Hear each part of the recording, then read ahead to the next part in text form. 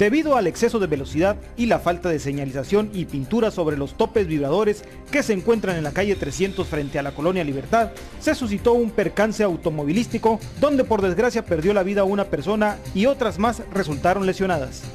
El accidente se registró a eso de las 23.45 horas de la noche del pasado jueves, cuando la familia regresaba de San José de Bacun y fue justo a la altura de la calle Moctezuma que el conductor Ramón Covarrubias Amarillas, de 65 años, perdiera el control por el efecto que causaran los topes vibradores y la luz incandescente que recibiera de un camión de carga que circulaba por el carril contrario.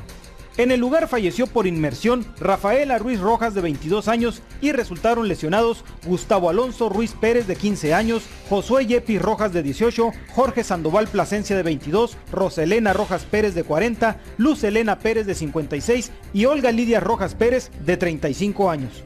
Por fortuna para siete de los abordantes del vehículo siniestrado, un Nissan Suru modelo 90 color blanco, cerca del lugar se encontraban seis personas que no dudaron ni un segundo en meterse a las aguas negras a auxiliarlos. Alejandro López, José Guerrero, David Pérez, Abel Harrison, Adolfo Guerrero y Jesús Quintero fueron los primeros en llegar al lugar y los apoyaron los elementos de la Secretaría de Seguridad Pública Municipal, Martín Ibarra y Sergio García, además de bomberos y militares. Asimismo, se informó que tres de los lesionados fueron trasladados a un nosocomio local para su valoración médica.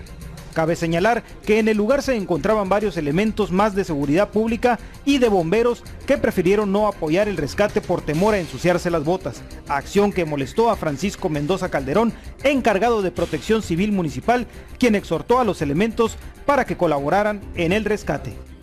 Con imágenes y edición de Juan Andrés Bracamontes, para Noticias Monitor, Alfonso Pliego.